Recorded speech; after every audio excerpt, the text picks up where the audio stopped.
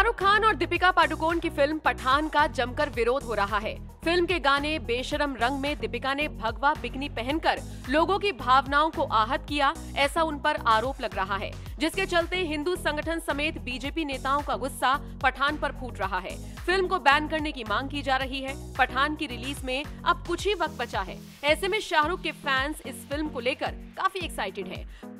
वहीं अब पठान को लेकर हो रहे विवाद के बीच फ़िल्म के डायरेक्टर सिद्धार्थ आनंद का बयान काफ़ी वायरल हो रहा है। सिद्धार्थ आनंद ने कहा, शाहरुख खान को डायरेक्ट करना एक ज़िम्मेदारी है और ये अब और भी बड़ी बन जाती है क्योंकि उनके ब्रेक के बाद दर्शकों की उम्मीदें काफ़ी बढ़ गई हैं और उनमें उत्साह भी है।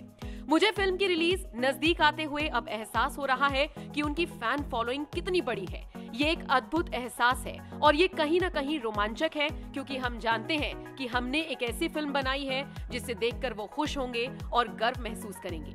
सिद्धार्थ आनंद ने आगे कहा, उन्हें पहली फ़िल्मों से अलग दिखाना हमारी टीम के लिए चुनौती से कम नहीं था, लेकिन पूरी टीम ने उन्हें एक नए तरीके से पेश करने के लिए वास्तव में कड़ी मेहनत की है।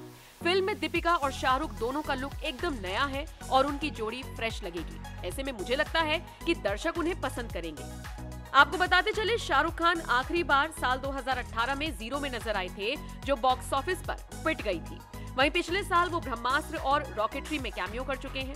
अब 25 जनवरी को पठान रिलीज़ होने वाली है और ऐसे में दर्शक काफ़ी एक्साइटेड हैं। फ़िल्म में शाहरुख और दीपिका के अलावा जॉन अब्राहम भी नज़र आएँगे। 250 करोड़ के बजट में बनी ये फ़िल्म हिंदी के साथ साथ तमिल और तेलुगु भाषा में भी रिलीज़ होगी। जब से इस फ़िल्म का ट्रेलर रिलीज़ हुआ है, तभी से इसे लेकर बवाल मचा हुआ है। लोग ट्विटर पर जमकर बॉयकॉट पठान का ट्रेंड चला रहे हैं। इतना ही नहीं, पठान का विरोध उनके गाने बेशरम रंग ने और ज़्यादा बढ़ा दिया है।